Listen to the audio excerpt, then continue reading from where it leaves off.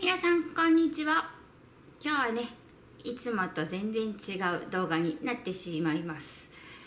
今日はちょっと難しいお話になるかもしれません。えお母さんやお父さんおじいちゃんおばあちゃんお兄ちゃんお姉ちゃんね。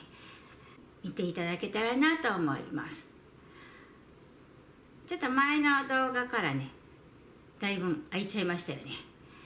実はいろんなことを毎日調べたり声を届けたり、ね、この場所を使ってこんな声を発信させてもらうのをすごく悩みました。全然違うことを発信するので戸惑われるかもしれません。コメント欄がねあるので皆さんの思いとかも発信していただけたらなと思います。そうやって視聴者さん同士のコミュニケーションの場所にしていただいたらいいなと思いました。何の話かと言いますと新型コロナウイルスワクチンがね特例承認されました。厚生労働省のホームページ見るといろんなことが分かりますよ。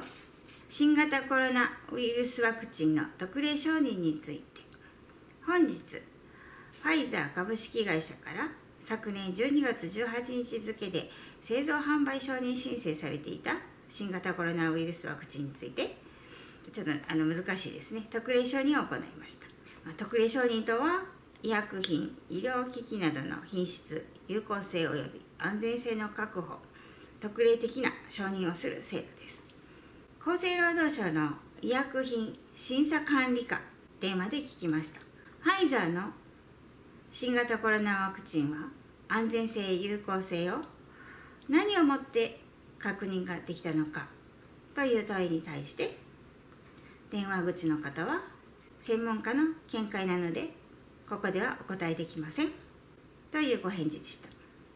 次に臨床試験どんなお薬でも試験を経て世の中に使われるというね臨床試験数を教えてください。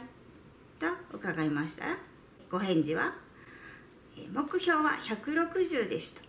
でこの下にコミュナティ添付文書とあります、はい、コミュナティ緊中を見ますと全年齢116例。20歳から64歳94例。65歳から85歳が22例。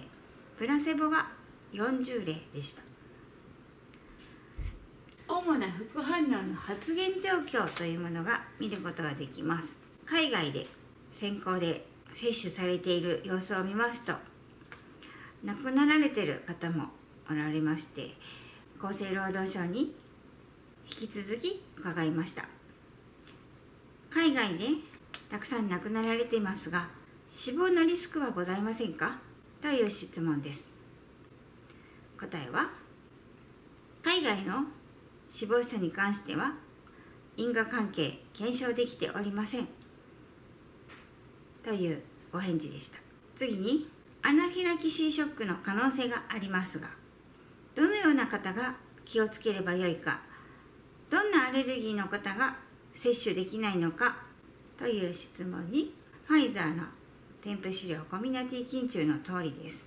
全身に発疹ができるようなアレルギー体質の方は気をつけた方がいいと思います。まだ具体的には分かっていません。お医者さんに相談してください。ということもおっしゃってました。まだ未知数ということだと思います。ファイザー株式会社にも確認のお電話をしました。こう聞きました。海外が先行して接種され記者のコミナティ緊張の資料。主な副反応の発現状況の中に死亡リスクの数を挙げていませんが記者の立場で死亡リスクを見込んでおられないのですか？という質問に返事は現時点でお答えすることができません。というご返事でした。その後厚生労働省の専用窓口にもお電話をしたりしますがなかなかこの心配を拭うことはできません。医療従事者の方に今努力義務という形でワクチン接種をされています。従来のワクチンと全然違います。人類にも初めて使われるワクチン。打ってみないとどんな副反応現れるかも分かりません。